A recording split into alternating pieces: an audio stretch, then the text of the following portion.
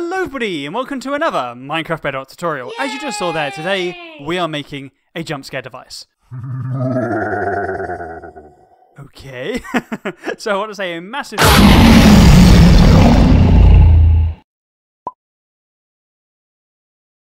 So I want to say a massive thank you to Phoenix, Cracker. Gupta, I hope I pronounced your name right, Ben's World, and the Devil Sting for suggesting this awesome idea. Now, of course, original design credit does go to Mumbo Jumbo. I'll put a link to his video in the description below. But no, I haven't copied him block for block, as you're about to see, there are some significant changes. Now, the first big difference is in the sound. Now, the Enderman sound is quite scary on its own, but I wanted to add a little bit more depth to it. That's why I added the thunder noise, like this, and the dragon growl, like that. Now, all three together, they make quite a horrible noise, like this. So when we press this button, it doesn't just scare us with the armor stand, it scares us with that horrible noise. Another great thing about this design is that it's reusable. So it doesn't just break and then we have to reset it. No, it resets itself. Press the button, finished, press the button again, and we can keep using it as many times as we like. Now, taking a quick look at the redstone, as you can see, it is very, very small. Now, it might look very complicated to some of you with the command blocks, but honestly, it's really, really easy. When I'll show you how to make it, you'll realize how easy this build is. Okay, so now you've seen the design, let's get on with this tutorial.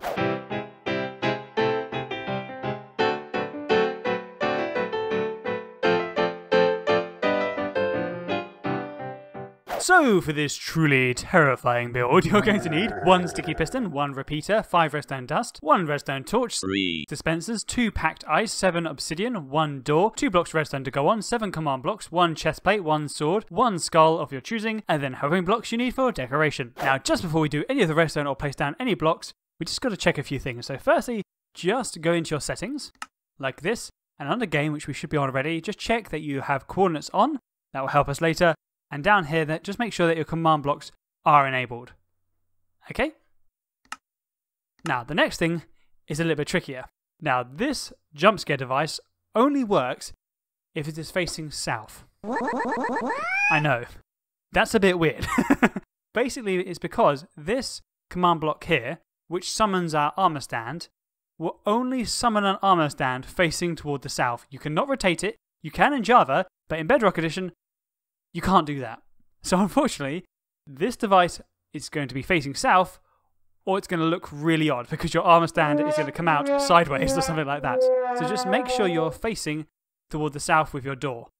Now, to make sure you are facing south, what you have to do is just go like this press slash, then press summon, sorry, press type summon, then armor underscore stand like that, and then enter and you can see it is facing this way. So that way is south.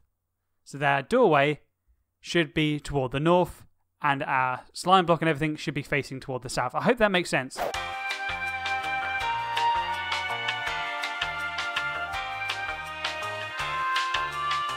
Okay, to start this build, we need to place down a 3x3 square like this, with one block at the top. Now, this block is where our door is going to go.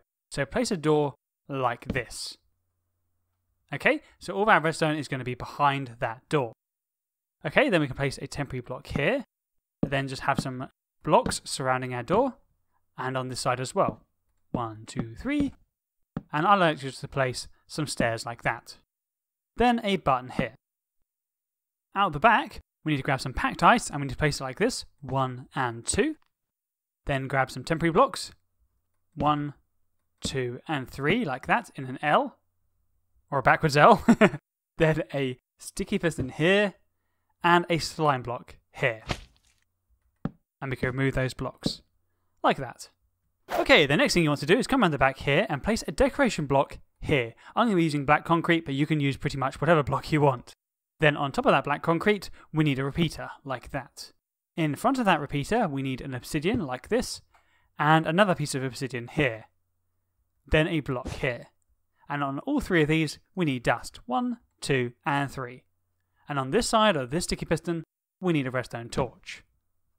Now the next thing we need to do, we need to grab some command blocks. So all we need to do is press slash or T and then press slash. So just open up your command line and press slash give, then at P, then write command underscore block like that. So slash give at P command underscore block and then go. And as you can see, we have our command block and we need to place three of them like this. One, two, and three. Now in our first command block here, these are going to be your sounds by the way. We need to put this command in. Play sound, all one word, then space, mob, dot, ender dragon, dot, whoop, not comma, dot growl. Then at p, like that. And next one, we need to put in the command play sound, ambient, dot weather, dot lightning. It's going to press this so I can see more of it. That's better. Dot impact, then space, and at, and p. So play sound, that is the sound, and that's who we're playing it to, so the closest player. And then our last command block is this one. And in this one, we want play sound. You can see a pattern here. then mob dot enderman, like that. Dot death space at p. Okay, so now when we press this button, we should have that horrifying sound and our piston extending.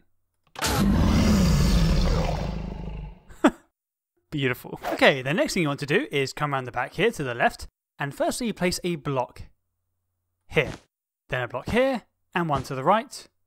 Remove this block and this one. And then we need a command block here. And in this command block, we need this command. So summon, like that, then armor, underscore, stand, with no spaces, and then we need the coordinates. So the coordinates are these coordinates here. So when you stand on this packed ice, the coordinates in your top left now. So 27, 13, minus 6. So 27, 13, minus 6. 27, 13, minus 6. Of course, your coordinates are going to be different from mine. so when we place now down some redstone dust like this and here, as you can see, we have our armor stand. So press the button, and it should get shot out like it does. Now the next thing we need to do can look a little bit confusing, but honestly, it really isn't that hard. So firstly, we need to place a block here. Then we need a dispenser facing toward the front, and then a dispenser here, and a dispenser here facing toward the middle like that. And we can remove that block.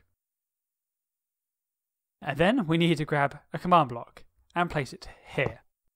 Now, in this command block, we need to put the command clone Okay, and then we need to grab the coordinates of that dispenser there.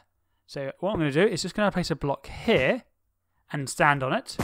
And these are the coordinates of where the dispenser is going to be. So 26, 15, minus 5. 26, 15, minus 5. So 26, 15, minus 5. Of course, yours is going to be different. And then you need to write it again. 26, 15 minus 5. So now that's going to be cloning whatever is in this little block here.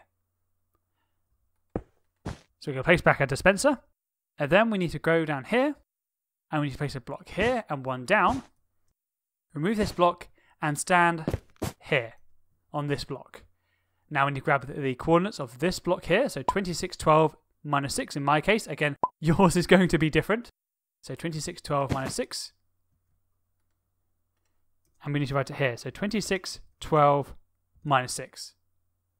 Then we need to change this block type from impulse to repeat, and we need to change this redstone line to always active.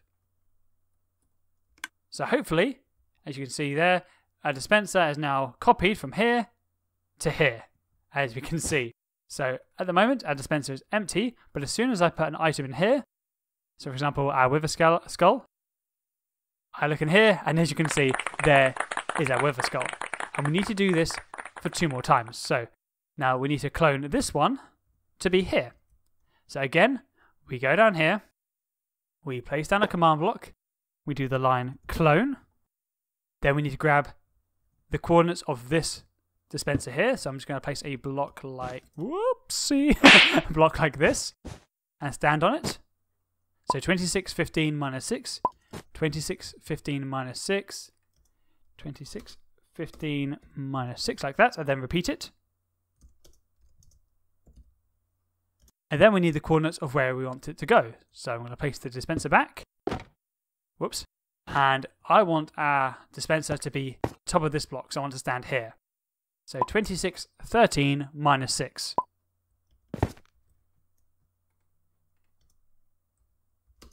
Thirteen minus six, like that. Then I need to change this, this, to change this to repeat, and this to always active, like that. And you can see we have our second dispenser. And in this dispenser, we can place our chest plate. And then lastly, we need to do it for this dispenser here. So just place a temporary block here, remove it, and stand like this. So 2615 minus 7. So clone 26, is it 15 minus 7? And then repeat it.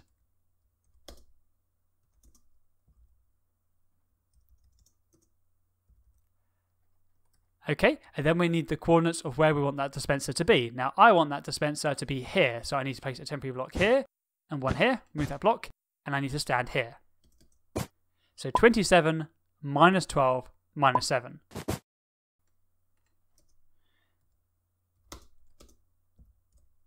Like that. Then need to put this into repeat, sorry, and always active.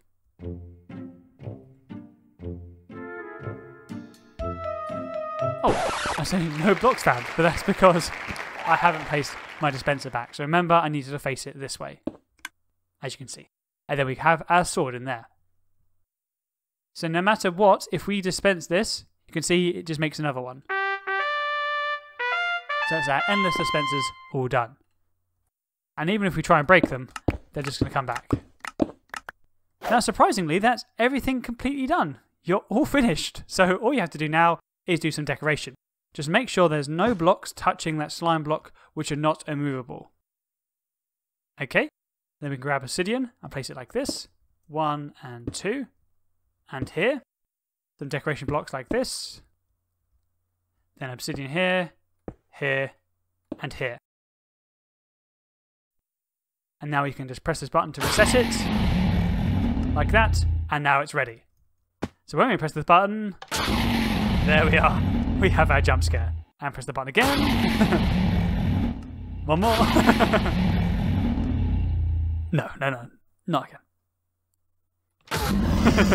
but sadly, this is the end of the tutorial. Thank you so much for watching. If you did like this video or like this design, please give us a like. And if you really loved it, make sure you subscribe with that wonderful subscribe button for more awesome content. Anyway, I will catch you guys in the next one, and I'll see you later. Bye!